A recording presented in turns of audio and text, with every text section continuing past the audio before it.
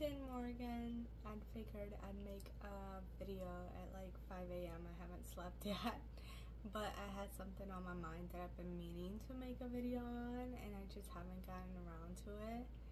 Like when it comes to the more extreme, unusual requests, I'm like one of the type of people that's like down to do those kind of things.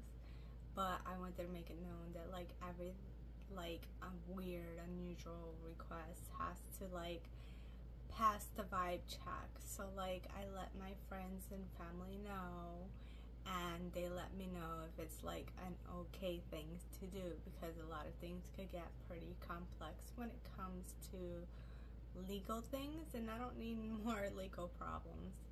So for example, um, I am so down to do castrations, but due to the complexities of the legal issues and stuff like that, and um, I don't have any medical training whatsoever, um, I'm unable to do those kind of things. So that's just an example of the kind of stuff that I get requests for that totally would be down to do, but unfortunately I can't. So just a public service announcement. That is all. Bye.